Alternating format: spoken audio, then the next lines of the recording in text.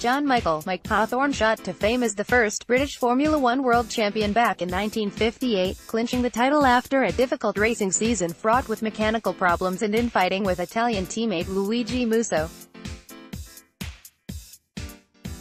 Hawthorn instantly announced his retirement from motorsport, badly marred by the deaths of Ferrari teammate and close friend Peter Collins during the 1958 German Grand Prix and Stewart Lewis Evans at the 58 Moroccan GP.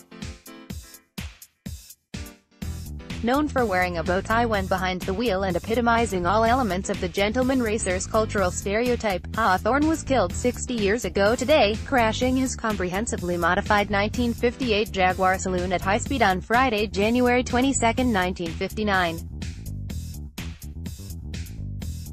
More on Mike Hawthorn having left a National Sporting Club dinner held in his honor only 60 hours before, Hawthorn lost control of his 3.4-litre Jaguar MKI while driving on the A3 road near Guildford and perished in the resulting impact. colliding with a Bedford truck before mounting an embankment and broadsiding a roadside tree. The reigning world champion, aged only 29 suffered fatal head injuries and was propelled onto the rear seats.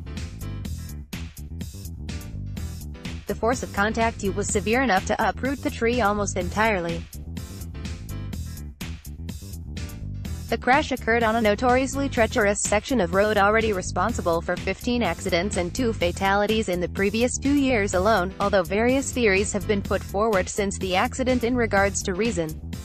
Overtaking in wet conditions, witnesses claimed that Hawthorn passed a Mercedes-Benz 300 SL Gullwing traveling in excess of 80 miles per hour. As it turned out the Benz was driven by acquaintance and race team manager Rob Walker. On entering a right-hand corner after overtaking the Mercedes, Hawthorn's Jaguar clipped a bollard dividing two carriageways, and spun out of control. The inevitable speculation found media powerhouses broadcasting a consensus that the pair had been racing each other. This notion was fueled further by Walker's persistent refusal to estimate his speed at the time by a coroner's inquest.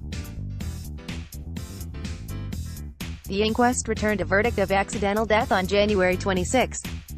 Many years later, further information from Walker came to light. During an interview in 1988, Walker confirmed that he and Hawthorn had been racing, but had been advised by investigative police officers to make no mention of this, or else he would incriminate himself. Although mechanical failure was alluded to, an examination of the wreck found no obvious culpability on Jaguar's behalf. Mike had been associated with Jaguar for some time, owning at least one XK120 before racing for the marque at Le Mans. Sir William Lyons, Jaguar's co-founder, loaned him the 3.4-liter MKI during his tenure for the company. Upon Hawthorn's retirement, he was permitted to continue using it thereafter. The 806th right-hand drive 3.4 saloon-produced Jaguar has no record of alteration in the chassis record book, indicating that the car's modifications were most likely undertaken without Jaguar's approval. A further belief is that Mike was suffering from blackouts, perhaps due to kidney failure. He had already lost a kidney to infection in 1955 and evidence from the time suggests he started to suffer problems with the other. He was expected to live only three years beyond his F1 title win.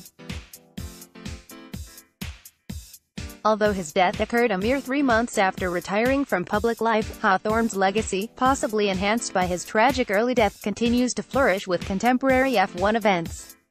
The Hawthorn Memorial Trophy has been awarded to the year's most successful British or Commonwealth F1 driver since 1959. There is also a statue at Goodwood Circuit that commemorates Hawthorn's achievement as the UK's first F1 world champion. This article was originally published on Motorious. View it here.